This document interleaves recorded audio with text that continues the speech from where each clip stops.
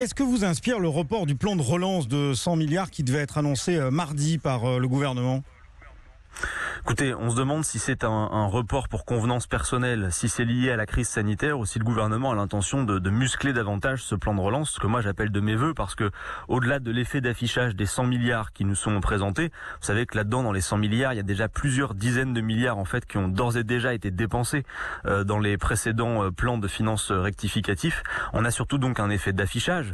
Bon, par ailleurs, je, je me permets de dire que quand la France insoumise proposait d'investir 100 milliards dans la planification écologique, on nous riait sur le thème 100 milliards, ce n'est pas possible. Là, vraisemblablement, ça le serait. Mais ce que je vois surtout, c'est que c'est un plan de relance sans politique de relance. Okay. Il n'y a rien dans ce plan euh, pour soutenir la consommation populaire et la demande des ménages. Il n'y a rien pour mettre à contribution celles et ceux qui ont le plus. En revanche, il y a la sempiternelle vision d'Emmanuel Macron selon laquelle il suffirait de catapulter des aides publiques euh, sur les entreprises sans en demander de contrepartie sociale et environnementale pour que magiquement l'activité du pays se relance. Je crois que c'est une impasse totale, un logiciel qui est périmé.